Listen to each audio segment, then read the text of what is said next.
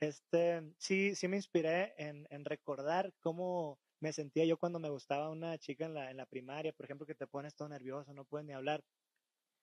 Entonces, de ahí viene esto de, eh, ahorita que estoy grande, me hace sentir como chiquito, que uno se fue poniendo capa tras capa de que no, pues nada, nada me va a penetrar este corazón de piedra, de cuenta, ¿no? Por, porque te lastimaron, entonces te vas haciendo esas capas, pero de repente llega alguien que te hace, que penetra esas capas y te hace sentir de piedra a papel, ¿no? Así como... Claro.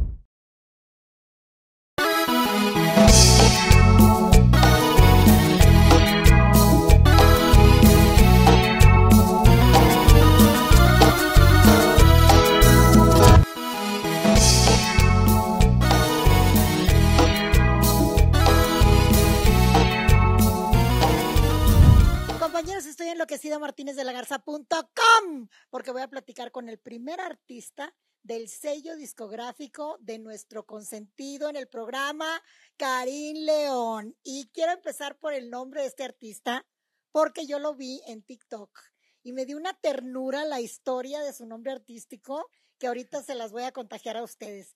Tu nombre artístico, cuéntales al público cómo es. Cacalo.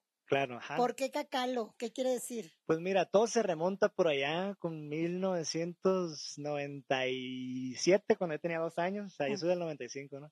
Imagínate, tenía dos años, tenía dos dientes, pero también tenía dos nombres. Entonces, no falta la tía que, que quiere hacer hablar al bebito, ¿no? Entonces, Claro. ¿cómo, te, llamas? Ajá. Entonces, yo en mi mejor esfuerzo le decía Cacalo, por decir Juan Carlos. Juan Carlos. ok. Ajá, ¿Tu nombre real es Juan Carlos? Juan Carlos Corral Félix. Corral Félix, Ajá. ok. De Meritito Hermosillo, Meritito, Sonora. Hermosillo, Sonora. Ay, se, nomás digo Hermosillo y se me antoja la coyota de piloncillo. A mí la carne asada. Qué rico. Bueno, la lomo de cabrería. Bueno. Sí, va. Ay, no, Podemos no. seguir la lista. Y entonces, Cacalo, fíjate qué bonito eh, aquella historia infantil y ahora se convierte en tu nombre artístico. sí, fíjate, ha sido muy curioso porque, o sea, yo me lo asigné y, y a mis papás así les cayó muy- mucho en gracia y, y- me dijeron así, toda la familia. eh, la O sea, así te también. dicen todo el mundo, Todo el mundo, sí, sí, sí. De hecho, obviamente, a ver, cuando estaba en la secundaria o algo así, intenté así como que no, yo soy Juan Carlos, ¿no? Pero no falta el vato del barrio, eh, Cacalo, y ya. Y todo y el mundo, todo el mundo, Cacalo. ajá, ¿Qué signo entonces- eres? Tú dime, a ver qué parezco. Híjole, no, pues tacañón, to- no, no te conozco suficiente. Eh, soy Aries. Uy, uy, uy. Amigas, compañeras, fanáticas de Cacalo, agárrense. ¿Cómo, ¿Cómo somos los Aries? Pues bien fuertes, un signo es el primero, Neta. signo fuertísimo, coquetos, eh, muy buenos para el delicioso. Ah. Cuenta la leyenda. no, no, no cuenta la leyenda, es que yo estuve 10 años con un Aries. Oh, ok, la leyenda. La leyenda mía, real, pues, la leyenda real, sí, un- una, el signo Aries es uno de los eh, signos más poderosos, ni le alegues, o sea, si el Aries dice una cosa, está enojado, pues ya ni le alegues porque no le ganas al Aries. Órale, y es difícil que me enoje, o sea, según ¿Cuándo, yo, qué día cumples? el 7, De abril. el 7 de abril, ajá. Bien, no, pues eres Aries, Aries, y Aries, aparte Aries. el 7, pero el 7 es muy buen número. A mí me encanta también eso de la numerología. Órale. Oye, pero a ver, porque yo descubro a esta criatura, porque es una criatura, en TikTok, y entonces le escribo, creo que le escribí a Instagram, Ajá, sí, Instagram. este, pero lo vi, pero te vi primero en TikTok. Ajá. Entonces le escribí al Instagram y planeamos eh, vernos algún día y mira, más pronto de lo que pensábamos se dio, qué bueno, porque ¿cómo llega? Cuéntale a la gente porque me encanta que Karim tenga ya su propio sello Ajá. pero aparte me encanta que, que no se limite a hacer lo suyo, que tiene bastante que hacer, Sí, sí, sí. y que no sea envidioso, ni, ni este, porque pues hay gente que no, no, ¿cómo va a invitar a otra persona? Hacen lo suyo y les vale sombrilla a los demás. Claro. Y me encanta que te agarró, eh, no solamente como artista, sino como cantautor también, porque ya me dijeron aquí que eres buenísimo cantautor. Y bueno, para muestra tus canciones, ¿no? La de, la de Colmillo de Eh. Leche, yo juraba que era de Pablo Almorán. Ah, órale, no, muchas gracias. Sí, este, fíjate que, que eso que mencionas de Karim es totalmente verdad. Me ha tocado vivirlo en carne propia ¿Cómo se da tu encuentro con él? con Karim. Eh, yo tengo un estudio de grabación ahí en Hermosillo, Sonora. Entonces, eh, por ondas del destino, fueron llegando artistas un poquito más consagrados, vamos de a alto decir. pedorraje, digamos. de alto pedorraje. En, e- en este caso llegó Karin ahí también a grabar una voz, entonces eh, yo también, ya nos ubicábamos desde Grupo Arranque, ¿te acuerdas? Sí, claro. Entonces ahí éramos Quisiera ver la cara de Grupo Arranque ahorita. no, también ahí, ahí siguen tocando, creo, y también son excelentes musicazos los morros. Este, entonces, eh, desde entonces nos ubicamos. De hecho, él compuso una canción que se llama Mi Tonto Oficial, que nos fue muy bien como par de haces con ella. Ujú. Entonces, entonces yo le tengo un respeto también como compositora. Karina, es algo que pocos saben, compone muy súper bueno bien. también. Claro. Entonces, y esto que mencionas también es un corazonzote, ¿no? Tiene, el, el loco este porque eh, tiene esta filosofía de que Por eso agarrar a está lo tan suyo. grandote, porque por tiene un eso- corazón bien grande. Claro, claro. Y por eso es tan grande también. Sí, Este, entonces de, de apoyar a los suyos y si le va bien a los suyos, le va bien, al- bien a él también, pues no tiene esto de, de que no, solo yo y equiparar todo. Y lo aplica con sus músicos, con la gente que lo rodea, siempre eh, son gente de su barrio o de, o de Hermosillo, ¿no? Como que tiene esa filosofía y le y toca aprenderle mucho al, al profe. sí, es dador, ¿verdad? Es una gente Ajá. dadora, Sí, que no sí, es sí. envidiosa. Ahora, ¿cómo nace esta canción hermosísima eh, que viene en el disco de Colmillo de Leche? Ok, pues mira, como, como ¿Son bien vivencias platico, tus roles? A veces sí, a veces son, tienen un poco, beben de Porque experiencias. luego los compositores le echan la culpa al primo de un amigo. No, es que un amigo, me la historia de un amigo y no sé qué. Dime la verdad, porque yo creo, bueno, yo en lo personal creo que son vivencias. Bueno, eh, varía, por ejemplo, en este caso la de, de Piedra Papel, que es la que mencionas que, que Karina y Alborán, este, sí, sí me inspiré en, en recordar cómo me sentía yo cuando me gustaba una chica en la, en la primaria, por ejemplo, que te pones todo nervioso, no puedes ni hablar. Entonces, de ahí viene esto de, eh, ahorita que estoy grande, me hace sentir como chiquito, que uno se fue poniendo capa tras capa de que no, pues nada, nada me va a penetrar este corazón de piedra, haz de cuenta, ¿no? Por- porque te lastimaron, entonces te vas haciendo esas capas, pero de repente llega alguien que te hace, que penetra esas capas y te hace sentir de piedra a papel, ¿no? Así como Claro. estaba chiquito. Qué entonces, bonita letra de, de la rola, la ah, verdad. muchas gracias. Y además, eh, qué importante que te haya grabado Karim y Pablo Alborán, o sea, uno de los, de los cantautores también, También, más sí, importantes de sí, España, o sea, a nivel internacional, que se te cayeron los calzones, me imagino, Los cuando te dijeron Los calzones y el sombrero, todo. todo. Sí, la neta. Este también es, eh, Pablo Alborán es alguien al que yo admiraba desde, pues realmente como desde los 15 años lo descubrí, yo creo. pues, Ya, ya, ya van como 14 años si sacamos la cuenta.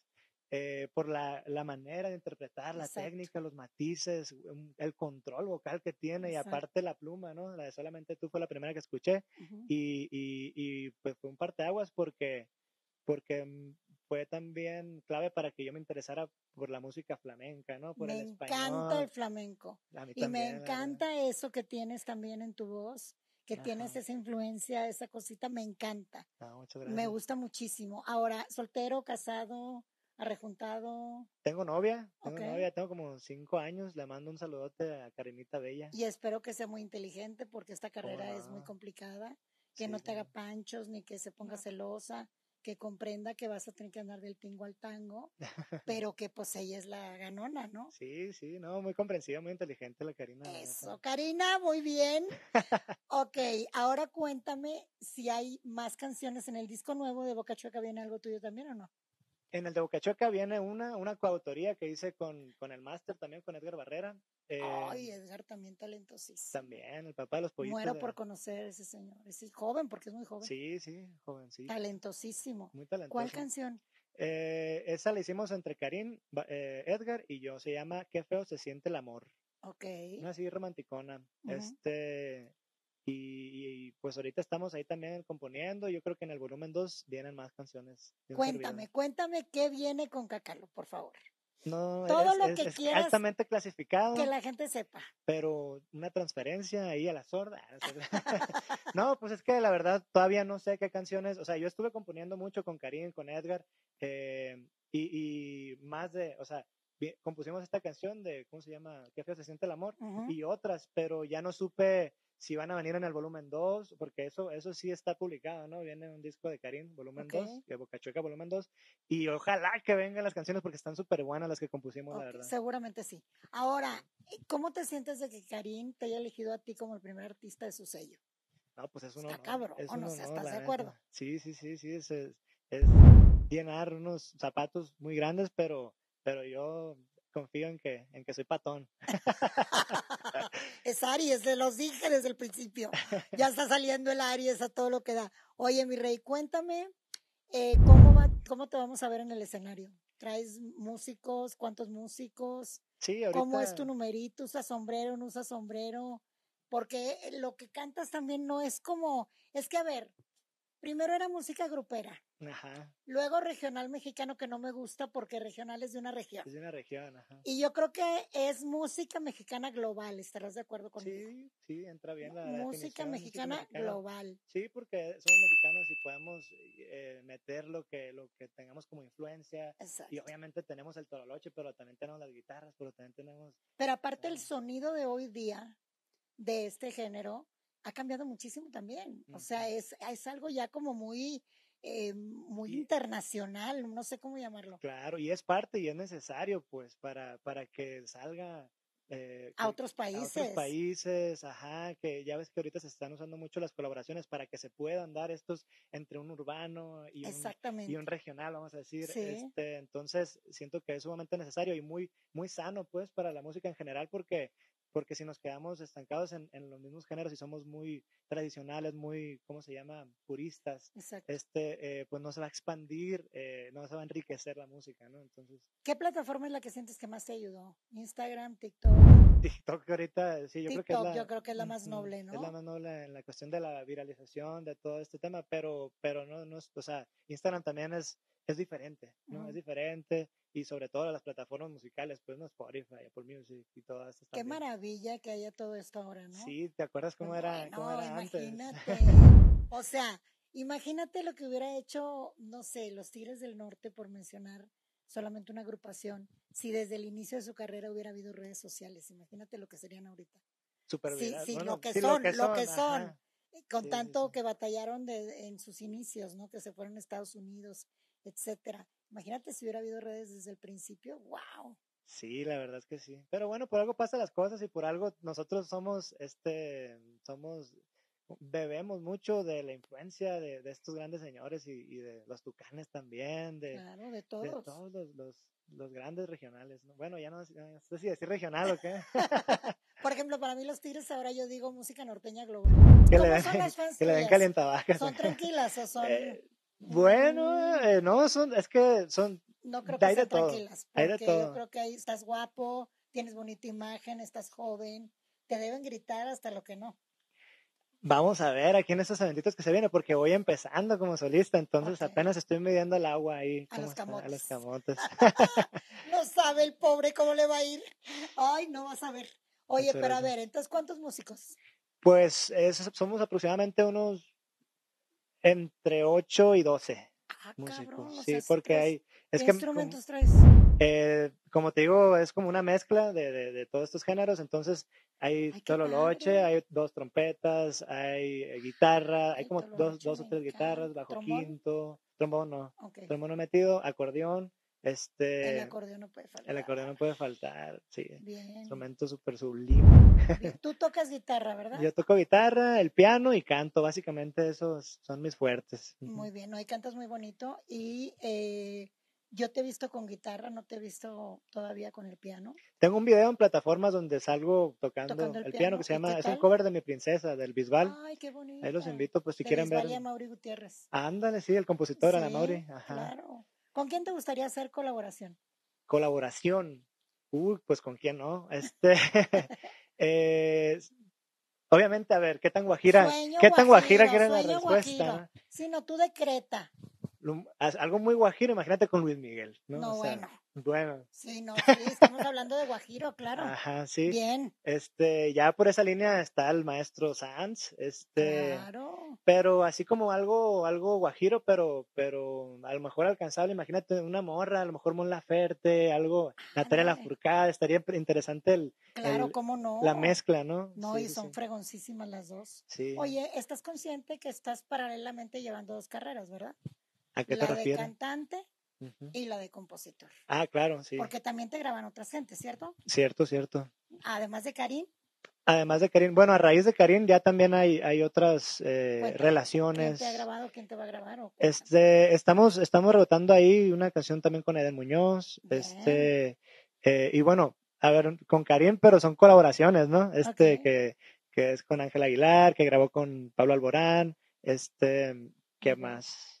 Pues ahí se vienen asomando cositas, ahí te, te voy diciendo. Cómo, Sí, me vas poniendo al día porque sí quiero apoyarte, quiero seguir tu carrera, me, me encanta lo que haces, me gusta que eres norteño, que eres, pero tienes una manera muy peculiar de cantar y de componer. Eso aflamencado a mí, me, eso fue lo que más me gustó de Karim, Ah, cuando empecé a oír a Karim, que le dije, oye, ¿a ti te gusta lo flamenco? Y olvídate de ahí, nos fuimos una plática, fue por Zoom mi primera entrevista con él Ok, en pandemia, creo.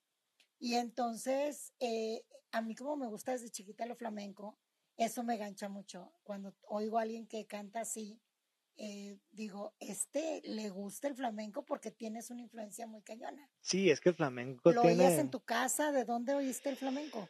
¿Cómo empezó el flamenco? A ver. ¿O una mm, morra te dijo o qué? Eh, yo creo que más que nada cuando empecé a, ponerle atención al canto como disciplina, como profesión, así como que ya no nomás ser afinado, sino, ok, ahora estudiar, ¿no? Porque estudié la licenciatura en música. Ah, mira, eso es Entonces, muy importante. sí, ¿Por qué no me dices eso desde el principio? no sabía que no O sea, sabía. escribes nota, lees nota, todo el También, o sea, sí, sí, sí lo sé hacer porque lo, lo estudié, pero no es habitual ahorita para el No, trabajo del- de la música pero, pero popular. lo sabes hacer. Pero sí, sí, sí, soy una ratita de laboratorio ahí en cuestión musical, soy muy, muy clavado en... ¿Tienes algún así mini estudito ahí en tu casa? Sí, sí, tengo el, el estudio de Ah, bueno, grabación, el el estudio. una- estudio, ¿Cuál tengo. estudito? Un estudio Ajá. fregón. Sí, sí, Sí, es ahí cierto, ya me esto. dicho. ¿Lo eh, tienes en, en cerca de tu casa, en tu ahí casa? vivo, eh, o Ah, sea, ok. ajá, lo, lo empecé a hacer en mi casa prácticamente y, y se fue haciendo un Qué poquito más. padre, porque ahí pues haces lo que te da la gana cuando se te ocurre. Sí, la verdad, sí, es como, sí, es como un salón de juegos, ¿no? Nomás te levantas y ya Y te vas a ver al laboratorio sale. de Dexter, ¿no? Eso dicen los compositores. Bueno, hay compositores como Martín Urieta, Ajá, que él dice que él no es sastre de canciones, que él no es, él no hace canciones por pedido, ok. que él hace canciones cuando le llega la inspiración y nace la rola, ¿no? Ok, Hay otros can- eh, compositores como Miguel Luna ajá, que dicen, no, yo sí soy, este, yo hago canciones por encargo. O sea, si a mí me hablan y me dicen, oye, quiero una canción que hable de tal cosa, pues yo la hago. ajá. ¿Tú de cuál eres?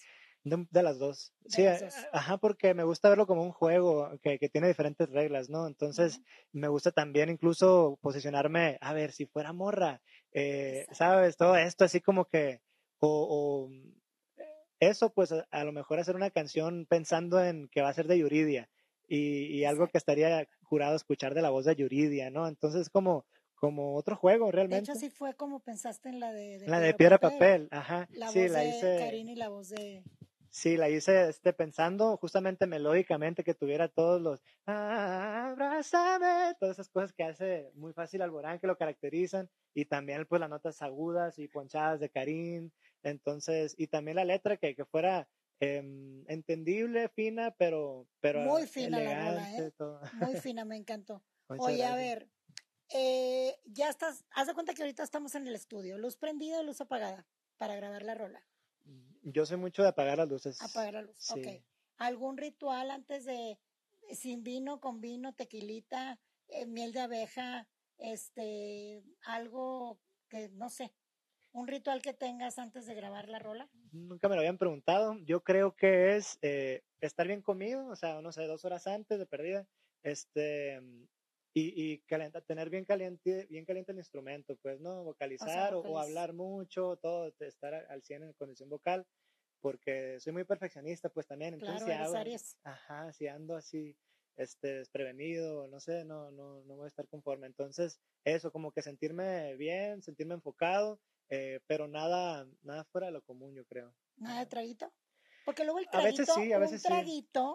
No la peda, ¿no? Pero Ajá, un sí, traguito sí, sí, sí, sí. te desinhibe, te, Claro. te pone como en un mood más... Sobre todo para el escenario, ¿eh? No, es- no ta- tanto para el no estudio. tanto para el estudio, es cierto, es más para el, en para el el- en vivo con la gente. sí, sí, para desinhibir un poquito, sí, pero no, no pasa de tres caballitos, yo creo, ¿no? O sea, para no, justamente para tener, Para que no caiga en la peda. para que no caiga la peda y no empezar a mermar técnica vocal o cosas así, pues, ¿no? Entonces, yo creo que sí viene bien dos, dos tequilitas, como no? Bien. Sí. Ahora, eh, viene un disco completo, vas a estar sacando tema por tema. ¿Cómo va a ir el asunto de Cacalo? Sí, ahorita ya, ya está saliendo este disco de covers. Grabé un, un disco de covers de aproximadamente entre 15 y 18 canciones. Ay, qué maravilla. Dime, cover, dime así. cuáles.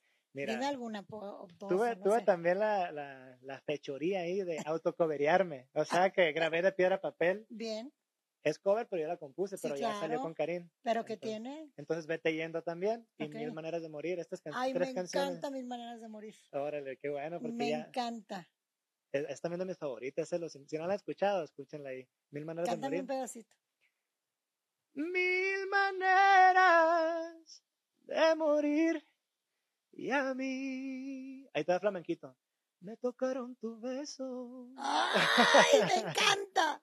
Me encanta. Pues te auguro mucho éxito, Cacalo, porque tienes un estilo muy particular, tienes una imagen muy bonita, tienes una voz muy bonita también, y no eres mameluco, que es muy importante. ¿Qué le dices a la gente? ¿En qué sentido? Ah. Sí, o sea, que no eres, no eres vanidoso porque podría ser muy mameluco. Ah, muchas O gracias. sea, creerte mucho y así, Yo y creo no que- eres mameluco. Se ve que eres una persona sencilla, Gracias, gracias. y se ve que tienes el apoyo de tu familia. Y mira, estoy hablando así nada más No, al sí, aire, sí, sí, que toda tu familia te apoya porque te siento como muy seguro, como muy, que sabes perfectamente cuáles son los sueños que quieres cumplir y eso me encanta, lo tienes muy claro. Ah, muchas gracias. Sí, como bien dices, eh, no sé qué comes que adivinas, pero este, muy perceptiva, yo creo, ¿no? Muy, soy cáncer. Ok, Entonces soy ok, muy intuitiva, muy perceptiva y me fijo mucho, soy muy observadora. Y ok. como te he estado eh, cachando ahí en el TikTok y viendo, y más cuando supe que, que ya te iba a ver, que ya te iba a conocer y a platicar contigo, pues más ahí. me metí ahí para, sí, pues nunca estorba. Claro, claro. Invita a la gente, eh, dile tus redes sociales para que te sigan en todas tus redes sociales. Claro, estoy como el Cacalo en todas las redes sociales, excepto Facebook. Se escribe con cada kilo. No sé si va a salir escrito por ahí. Este, Sí, claro. Eh, es el Cacalo y en plataformas, Cacalo me buscan en Spotify, en YouTube, en Apple Music, en, en iTunes, todo, todas las plataformas de música.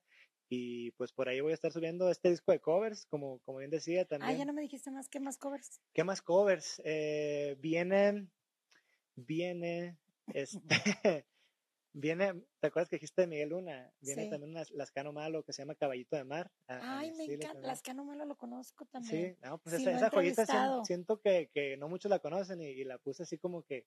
A ver qué sobre- pasa. También una joyita que, que siento que debería ser más conocida, que se llama Tus Ojos, de David Cavazos. Ok. Viene esta, Mi paisano eh, de Monterrey, si no me volví loca. Ándale. Sí, es de Monterrey, David. Creo ¿verdad? que sí, sí, sí, sí. según yo sí. Muy talentoso El de también. Bruja de Noche. Ándale, sí, Ok. sí, sí. Este, viene, mm, mira, nomás me preguntaste y, se, me, se me fueron. Se te borró el... Viene Saturno de Alborán, Ok. viene Saturno, pero al estilo así, o sea, con- haz de cuenta que todas las metí en un molde instrumental, o sea, todas tienen vihuela, todas tienen, este, como tololoche, todas tienen trompetas, pero como llevado a cabo elegantemente, así como Qué tratar de, de darle ese toque eh, romanticón también, este, vienen algunas, Eres muy romántico, ¿verdad? sí, sí, sí, sí, Sí. sobre todo musicalmente. Sí, sí, sí. Sí, todas las Este- canciones siento que, que van por, esa, por ese lado, ¿no? Sí, e- el disco está como que dividido también. eh, Hay muchas románticas, pero también muchas moviditas, como rumbas flamencas. Ay, Quiero combinar encanta. ese, ese ritmo, estaría bien padre traerlo así Claro. como la rumba flamexa, haz de cuenta, ¿no? Ándale, Con qué acordeón, pero padre. entonces está la de Vete Yendo, está la de Sentimental de Joan Sebastián. Ay, qué padre, con ese este, sonido. Con ese sonidito, sí. Ay, ya la quiero oír. También la del Precio de la Soledad, le dice rumbita del Alfredito Olivas. Ok. ¡Qué cobarde eres! Esa Qué rolita. padre. Entonces, está muy variado, los, lo- los invito, se llama Resonancias Resonancias. este disco por justamente por, por los sentidos tiene varios sentidos por ahí